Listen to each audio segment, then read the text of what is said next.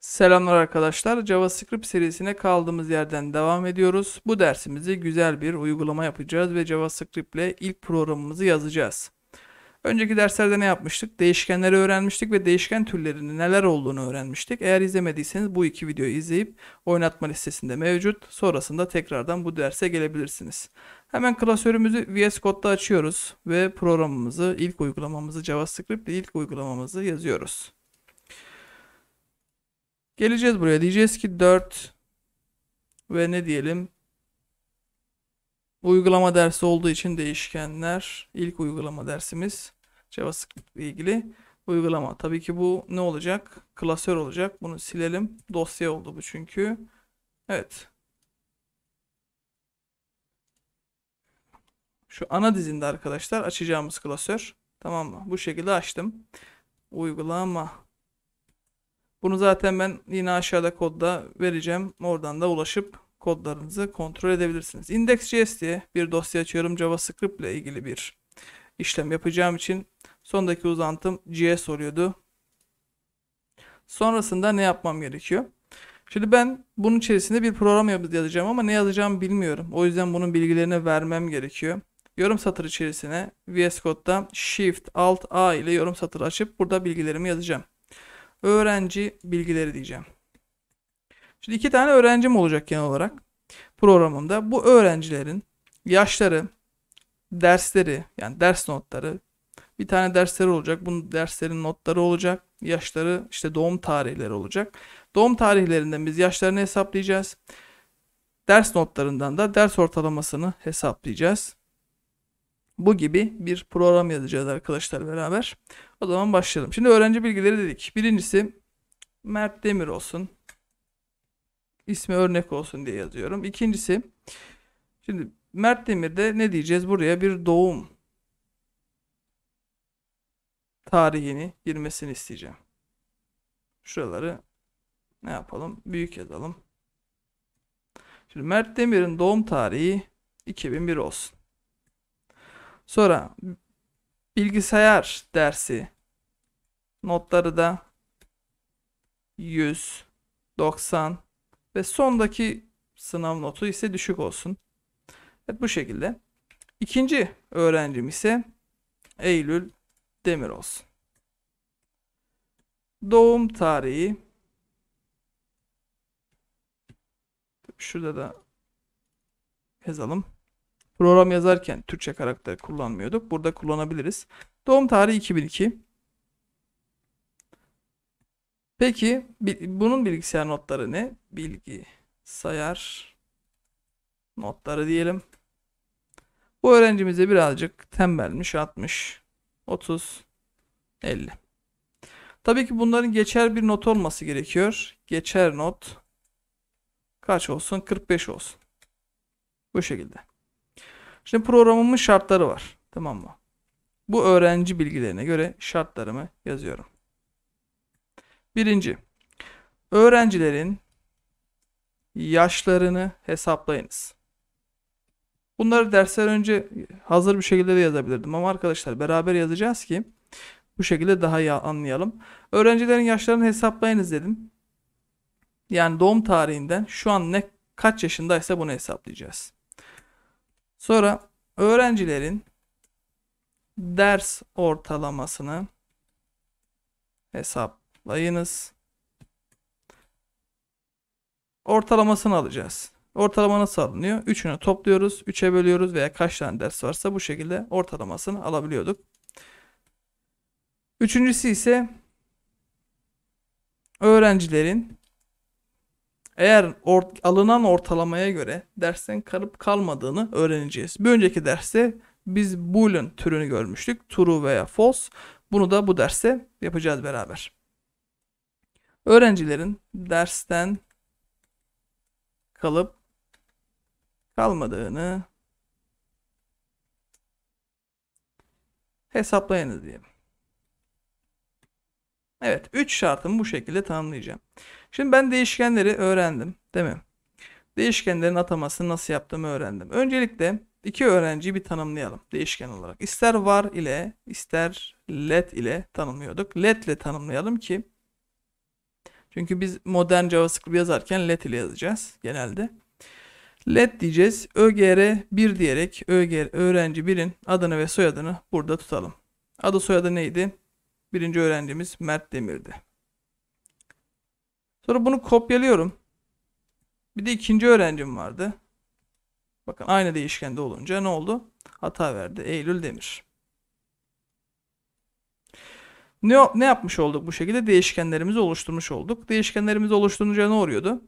Bu bilgiyi bu içerisindeki bu Mert Demir bilgisini gelip bunun içerisinde saklıyorduk biz bilgisayar içerisinde. Ve bunu da ÖGR 1 diyerek artık bunun içerisinde sakladığımız için bunu da yazdırdığımızda console.log pardon nereye yazdırıyoruz? Buraya yazdırmamız lazım. console.log diyeceğiz. Yani JavaScript'te konsolda yaz diyeceğiz. Konsolda bu alandı. Bunu nasıl açıyorduk? Terminalde Viv deyip buradan terminalde açabiliriz. Bunu açtıktan sonra ne diyeceğiz burada? Not index. Tabii ki bu dizine girmem gerekiyor. O yüzden değişkenler uygulama diziline girmem için ne yapmam gerekiyor? Rename ismini alacağım ve cd diyeceğim terminalimde. Bunun içerisine gir diyeceğim. Şu an bakın içerisine girdik. Ne yapacağım sonra? Not index diyeceğim. Index'i çalıştırsın. Bakın Mert Demir'i bu şekilde çalıştırmış oldum. Evet değişkeni tanımlamayı bu şekilde hatırlamış olduk. Bir de değişken tipini nasıl hatırlıyorduk? Type of ile ögr 1 diyerek hatırlıyorduk. Not index. String'ti. Güzel. Şimdi ne yapacağız? Bunları biz tek tek tanımlayacağız bilgilerini. Şimdi öncelikle ne istiyor benden? Yaşlarını hesaplayın. Yaşlarını hesaplamak için ne yapmam gerekiyor? Gelip direkt böyle bu işte yaşı 2001'miş. Yani gelip console.log 2001 şu anki yılımız 2022 diyelim. Eksi bu şekilde hesaplarsak string değil tabii şunu kaydedeceğiz. Not index diyeceğiz. Şu an 21 yaşını bulduk ama 2023 oldu. Elimizle mi yazacağız? Hayır tabii ki de. Bunu ne yaparız? Mert'in yaşı değişmez ama biz bunu daha kullanışlı olması için ÖGR1'in yaşını bu şekilde tutabiliriz. 2001. Ve en üstte de şu anki yılı tutabiliriz. Let yıl deyip hatta şu anki yıl Türkçe karakter kullanmıyoruz. Yıl yazmıyoruz. iyi yazıyoruz arkadaşlar. Bunu da şu anki yılımız 2022 diye ne yapabilirim yazabilirim. Gelip bununla bunu çıkartırsam şu anki yıldan değil mi? Artık ne yapmıştı? Şu bilgiyi bunun içerisinde saklıyorduk. Ne olacak? İndeksledik. Bakın yine 21 olayını bulduk. Bunun için ne yapabiliriz? Gelip Mert'in yaşını ögere yaş 1 ögere yaş değil. Döge, e, doğum yılı diyeceğiz buraya. Doğum yıl 2001 let ögere bir yaş. Bu da nasıl ne olacak? Şurada yazdığımız gibi yaşı nasıl buluruz? Şu anki yıldan kendi yaşımızı çıkartırsak yaşımızı bulabiliriz. Şu anki yıl eksi ögere birin doğum yılını evet. Şimdi gelip bunu yazdırınca ne olacak? Bakın değişken atama. Zaten buradaki olayımız o. Kaydediyorum. Kaydetmeyi unutmuyorum. Bunu gelip bu şekilde ne yapmış olduk? 21'i almış olduk. Evet. Aynı işlemi şu konsolu aşağı taşıyacağım. Bunun için de yapacağım. Değil mi? Şimdi bunun hemen aynısını yazmaya tek tek gerek yok. Gelip öğrenci 2'nin doğum yılı kaçtı? Bilgilerimden bakıyorum. 2002 idi. Hemen geliyorum 2002'yi. Buraya yazıyorum. Sonrasında şunu alıyoruz yine. Yaşını hesaplamak istiyorum. ÖGR2 yaş diye bir değişken atıyorum. Şu anki yıldan öğrenci 2'nin doğum yılını çıkarıyoruz. Ve bunu da bu şekilde yazıyoruz. Kaydedeceğiz tabii ki. 2002'den şöyle baktığımızda not index yazdığımızda ne oldu? 20 yaşını bulduk. Evet başka ne istiyor? Bu okey. Öğrencilerin ders ortalamasını hesaplayınız diyor. Hmm. Şimdi mantıken düşünüyorum. Ne yapmam lazım? Öğrencilerin yaş ortalamasını hesaplamak için ama oraya daha geçmeden şunu yapabiliriz. Bakın şu anki yıl hep 2022 olmaz. Mesela sistem değiştik. Birisi bu programı işte bu programı verdik birisi kullanıyor. Yıl 2023 oldu. E, şu an hala bu şekilde hesaplama yapıyor. Bu sağlıklı bir hesaplama olmadığı için ne yapacağız burada? Şu anki yılı bilgisayar içerisinden bulmam gerekiyor. Onu da new date ile yapmam gerekiyor. New date ile içerisinden bir, bir sürü ne var? Buradan özellikleri var. Gel, gelip buradan get full year ile new date objesinin içerisinden bu metodumu çağırınca ne olacak? Yine aynı sonucu alacağım. Almayacağım. Burada bir hata yaptık. Şunu objemin şu parantezini kapatmayı unuttum. Evet bakın yine aynı şeyi aldık. New date'in içerisinde yani şu anki zamanı yılını ayrı bulabiliriz. Saniyesini, salisesini. Yani şu an bilgisayar saatinde bulabiliriz arkadaşlar. O yüzden yarın bir gün ne oldu? Sistem değişti. Ne olması gerekiyor? İşte sistem değişti derken zaman ilerledi. 2023 oldu, 2024 oldu. E burada biz 2022 elimize yazarsak olmaz. Gelip şu anki yılı bu şekilde sisteme göre bilgisayarın saati neyse ona göre değişmesi gerekiyor. Tamam bunu yazdık. Şimdi öğrencilerin ders ortalamasını hesaplayacağız. Artık değişken tanımlamayı öğrendik. Let ögere 1 ders not 1 diyelim. Birinci ders notu kaçmış 100'müş. Şöyle gelip bunu 100 olarak atayalım. Bunu aşağı kopyalayıp 2 ders yok öğrenci 1'in ders ikinci notu ders not 2 diyelim. Tabi bunu şöyle yaparsak olmaz. Bunu kapatmam gerekiyor. Evet. ÖGR ders not 2. Bunu da 90 diyeceğiz. Üçüncüsü de 10'muş. Evet bu şekilde. Öğrenci ders not 1, ders not 2 ve ders not 3 dedik. Şimdi bunları değil mi? Ne yapmam gerekiyor? Toplayıp kaça bölmem gerekiyor? Kaç tane öğrenci sayısı varsa o kadar. Şey kaç tane öğrencinin notu varsa 3 tane var. 3'e bölmem gerekiyor. O yüzden let ögr bir ders not ort diyeceğim değişken ismine. Birinci dersim artı normal toplama hesap makinesinde toplama yapıyor gibi. İkincisi artı ve üçüncüsü artı diyeceğim. Bölü kaç diyeceğim? 3 tane var. 3 ortalamasını almak için. Sonra geleceğim şuradaki konsol logo aldık ve buraya dedik ki öğrenci birin ders not ortalamasını bana bul. Evet şunu kaydedeceğiz. CLS diyeceğiz. Not index 193 falan filan bir şeyler dedi. Hmm, demek ki burada bir şey yanlış yaptık. Hemen bakıyoruz. Bakın ders not 1, ders not 2 ve ders not 3 de değil mi? Bir kere işlem önceliği yapmam gerekiyor. Gelip büyük ihtimal bunun sonuncusunu bölüp sonra bu üçüyle topluyor. Burada yanlış olan bu. O yüzden işlem önceliği yapmamız için bunu önce içerisinde toplasın sonra gelip bölsün. Demek için ne yaptık? Bunları seçip parantez içerisine aldı. Sonra gelip şimdi tekrardan hesaplama yapacağız. Evet 66.666 şeklinde bunu bize verdi. Tabi bunu biz ne yapabiliriz? Ondalıklı olarak istemeyebiliriz. O yüzden ne yapabiliriz? Bunu gelip parse int içerisine alabiliriz. Parse int dersek şu şekilde ondalıklı değil de evet bu şekilde alabiliyoruz arkadaşlar. Hatta bunu da şöyle yapabiliriz. Hepsini alıp parse int diyeceğiz. Ve gelip bunu bu şekilde yazarsak Evet yine parse int deyip ondalıklı kısmı almamış oluruz. Float desek de ne olmuş olacak? Ondalıklı almış olacak.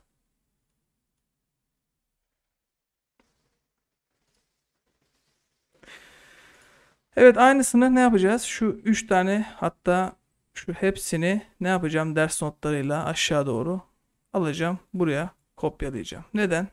Şu öğrenci 1'in değil öğrenci 2'nin hemen böyle kısa yoldan yapmak istiyorum. Sonra şunlar da öğrenci 1 değil öğrenci 2'nin ders notları. Aynı işlemi bunda da yapacağız çünkü. Tek tek yazmaya gerek yok. Sadece notlar değişecek. 60'ı 30'a 50'ymiş değil mi? Gelip 60, 30 ve 50 yazdım. Bu şekilde. Şimdi bunları hesaplamak istiyorum. Sonra geldim konsolumu aldım aşağıya. Öğrenci 2 ders not dedik. Evet. Gördüğü gibi 46'da. Şu an bu geçiyor mu geçmiyor mu? Baktığımız zaman 46 olduğunu ve 66 olduğunu. Üçüncü şartta kalıp kalmadığını hesaplayacaktık. Sınırımız kaçtı? Sınırımız ders not 45'ti değil mi? Tamam geldik. O zaman ne yapacağız? Let Tabii önce birincide yapalım. Gelelim şurada yapalım arkadaşlar. Let diyelim. ÖGR 1 ders hmm, durum diyelim. Tamam mı? Şimdi burada ne yapmam gerekiyor? Ortalamamı buldum. Şimdi ortalamamı buldum. Benim geçer notum kaçtı? 45'ti. Eğer 45'ten büyükse eğer şu, bu turuysa geçmişimdir. False'sa geçmemişimdir değil mi? Şimdi bunu yazdıracağım konsolda. Gelip ÖGR bir ders durum diyelim. Not index true. Hmm, evet geçmişim. Çünkü benim öğrenci ders not ortalamam ne kadardı? Kaçtı? Şöyle baktığımızda şunu kaydetmemişiz. Evet 66'da. Evet 66'da 45'ten büyük olduğu için bu durumu true olarak döndü. Yani geçmişim. Şimdi aynı işlemi alttaki öğrencim için de yapacağım. Öğrenci 2 ders durum, öğrenci 2 ders not ortalaması şeklinde. Bunu da aldım. Bakalım. Tabii kaydedeceğiz. Konsol logo aşağı alacağız ve ikinci öğrencinin ders notunu deneyeceğiz. Evet bunun da true olduğunu görüyoruz arkadaşlar. Bu şekilde ikisini de ölçmüş olduk. Mesela geçme notu okulda ne oldu? 40'a düştü. Ne yapacağım? Her yerde mesela bir sürü öğrenci olduğunu düşünün. Bin tane. Hepsinde gelip programda bunları tek tek değiştirecek miyiz? 40 mı yazacağız? Geldik. Not index. Kaydettik. Veya değişti 50 oldu. Değil mi? Ne olacağız? Yukarıdaki true yazdı, alttaki false. Yani kalmış. Bu şekilde mi yapacağız? Hayır. Gelip ne diyeceğiz? Yukarıya en üstte let geçme notu diyelim. Bunu burada belirteceğiz. Başlangıçta 45'ti. Gelip bunları değil mi? Burada yazacağız arkadaşlar. Bakın hep her şeyi bir değişkene bağladık. Her şey stabil ve bu, bu şekilde yaptığımızda, değiştirdiğimizde programımız düzgün bir şekilde çalışacak. Geçme notu 45 ise tamam mı? Geldim. Dedim ki bir tane konsol yazacağım en altta. Log diyeceğim. Birinci öğrenci geçme durumu diyeceğim.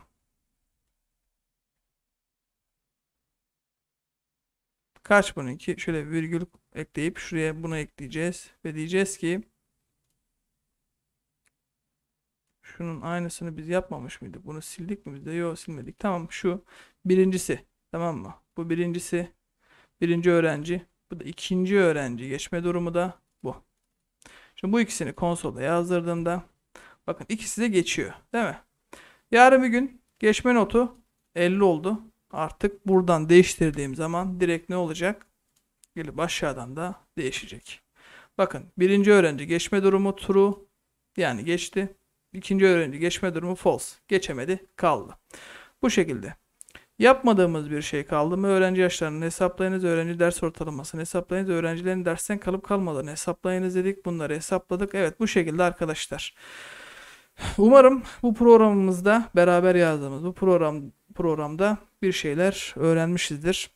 Tabii ki bunu siz bu dersten sonra tekrar tekrar sıfırdan yazmaya çalışacaksınız ki biraz daha pekişsin bir şeyler.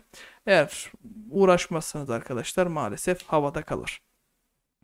Evet bu dersin kodlarını zaten aşağı bırakacağım. Oradan ulaşabilirsiniz. Eğer kanala abone değilseniz abone olmayı unutmayın ve videoyu beğen beğenirseniz sevinirim. Diğer videolarda görüşmek üzere. Hoşçakalın.